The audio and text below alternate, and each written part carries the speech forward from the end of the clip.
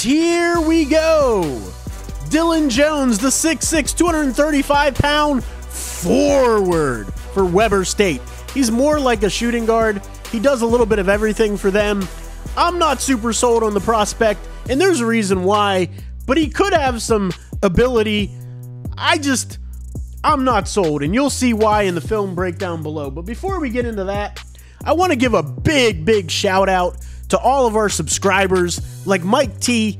Now, he's not Mike Tomlin, but he is a Mike T who just subscribed. And our newest channel members, Monstrous Minds is a channel member, Teresa, Adventures in Nursing is a channel member. Really appreciate the channel members. Now, what that does, it allows you to get early access to the content before it drops.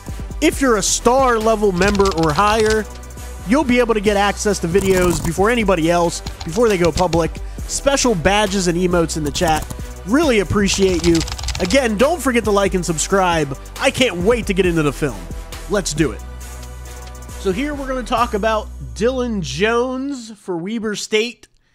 And right off the bat, it is a lackadaisical turnover, just giving the ball away. This is later in the season as well.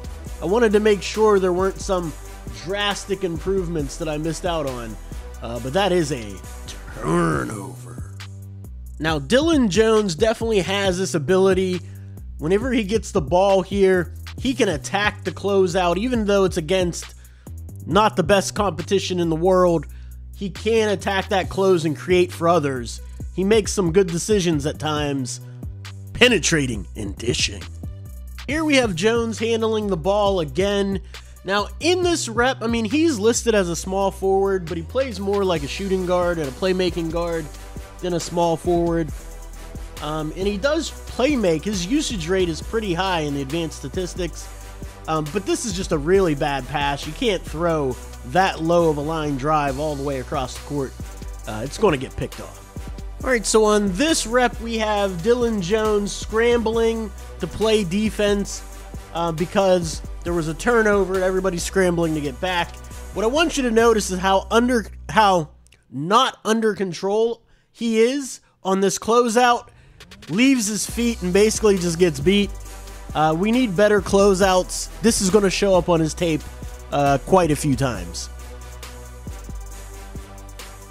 I'm gonna put this rep in here because the ball was being swung a little bit and it wasn't they weren't going anywhere, didn't have anything going on offense. So here you have Dillon Jones being the older player that he is. He recognizes this and calls for a high pick and roll. And they actually get a really, really good shot out of this. As he you can see he recognizes his big slipped. He puts the ball right where it needs to be. His big just brings the ball down where the little guys can get it. Here's one of the things I really like about Dillon Jones his individual man to man defense. Not, I'm not talking about closeouts, I'm not talking about weak side help, but just bodying up man to man. He's got some special things that you can't really teach. And I want you to watch this rep. Watch his feet, watch his base, look how strong he is, and watch how he just fleeces this guy. Using his length, gets right in there, for the steal. All right, my draft sickos, it's time for a beef check. Dillon Jones, let's take a look at him. He's got a nice stroke, and according to the statistics, shoots in the high 30s. All right, so there's a few things. I know there's a divide in the community about the dip.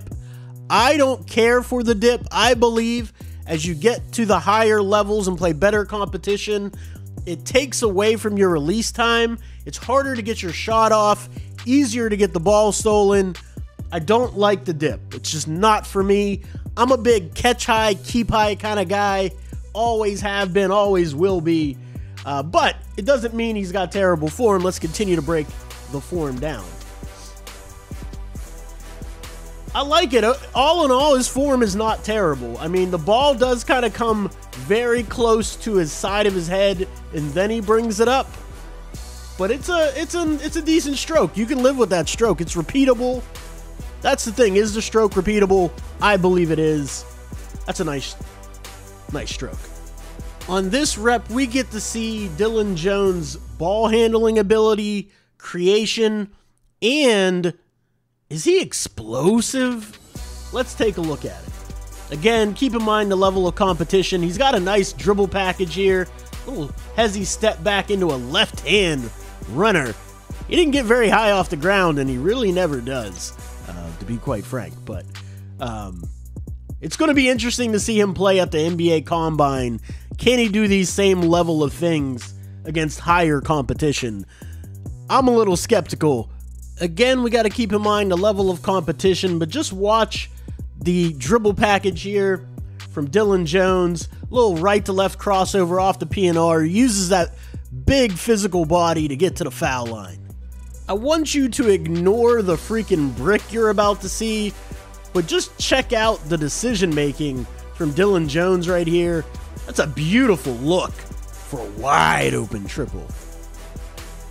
Clanged it though. So Dillon Jones gets these pockets of time where he gets really antsy to make a play on defense and he starts to gamble a lot and he he just gets beat back door here. I mean, there was no need to gamble. He just needs to stay solid, trust his team defense. Here we have Dillon after you know, gambling on defense and giving up a layup. He then turns the ball over on a really bad decision, and I'm going to show you why. This is one of the shortest guys on the court, right? I don't understand the logic of this bullet pass. What's he going to do down here? He doesn't have a wide open lane to the bucket. I could understand if this big man was pulled away to like the corner or something. But there is no there is no end game for this pass. This is just a really bad pass, a really bad decision, and it leads to a turnover after you just gave up a layup. You cannot compound one mistake on top of another mistake. We got to just make good decisions, play solid defense, play within ourselves, and not beat ourselves. Here we have Dillon Jones again creating for his teammates, making the game easier. A little jab and go and a little no look dime to his point guard. Who I actually like, by the way. I don't think he's going to play in the league. He'll have a nice career overseas, but I like his point guard. Here, Dillon Jones gets the mismatch with the smaller player on him, less physical player.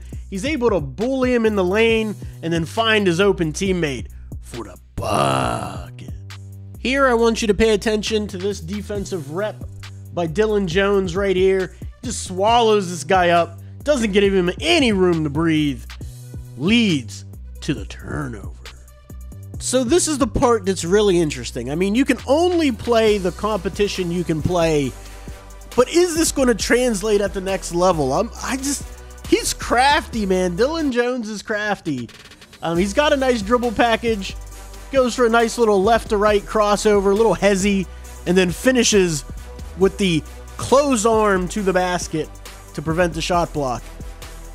I mean, he's crafty, doesn't have much explosion though, doesn't really get up going to be interesting. Let me know what you think in the comments down below. Will he be able to translate that to the NBA?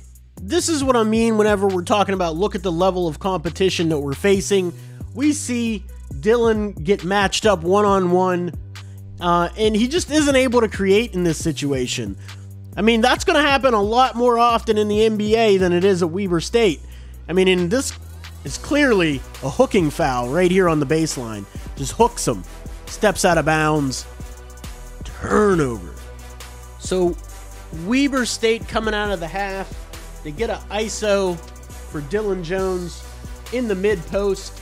I like the quick catch, rip through and go, but the lack of burst on these finishes is really concerning to me at the next level. I mean, he got the job done. Is that going to translate though? I'm I don't know, man. I'm having a hard time with this one. On this rep, I want to point out what we talked about earlier, how Dillon Jones can over pursue on closeouts. He does this as well on passing lanes. Watch him get beat back door. It's coming up right here. Just gets way too high, leaves the back door wide open. The more I study Dillon, the more I'm learning about his tendencies he's going to always come back left off that dribble package. He's got a nice one, nice rip through here, gets the guy off balance, a little light, left, right, but he's always going back left. You're going to be able to game plan for that. That's going to end up on scouting reports. I'm just not sure how his game translates at the next level. It's going to be interesting. Here we have Dillon Jones isolating at the top of the key again, trying to get to that left hand off the PNR, gets stymied, settles for the J, and it was brutal. On this rep, we have a nice play where Dillon Jones is going to show his veteran savvy. We're going to get a lob into the post. He's going to drift over to the lane, pause like he's setting a screen, and then slip right to the basket for the deuce.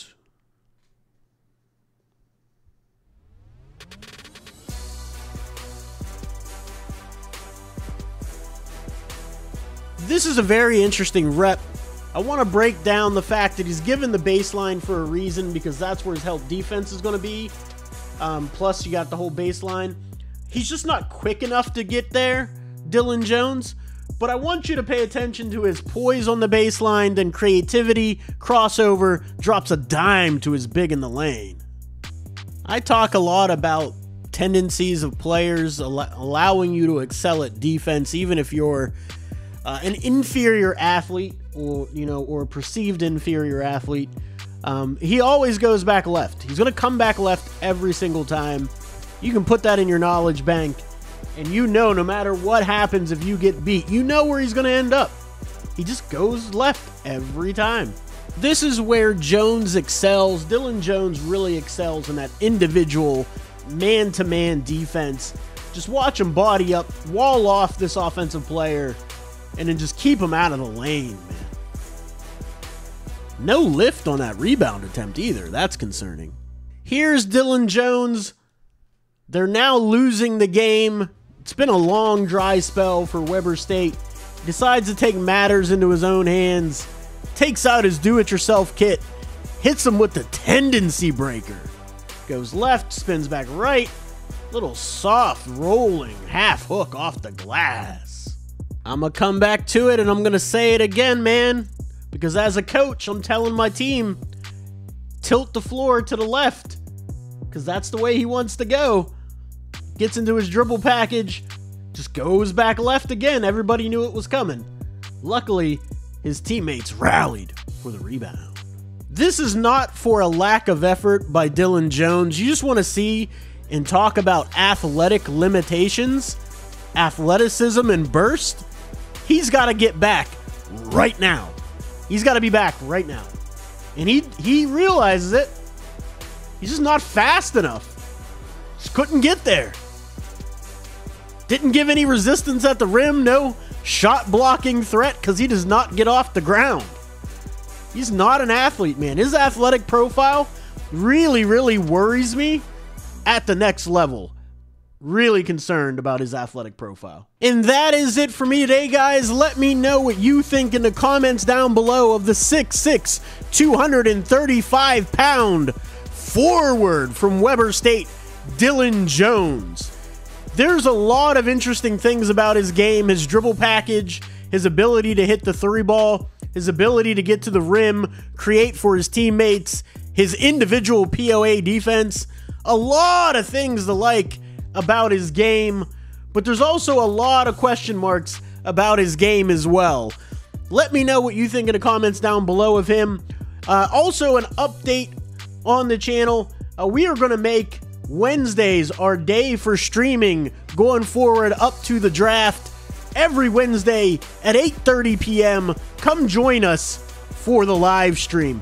Don't forget to like and subscribe. Become a channel member like the two we mentioned in the intro to this video, our first two channel members, where they get access early to our videos that drop.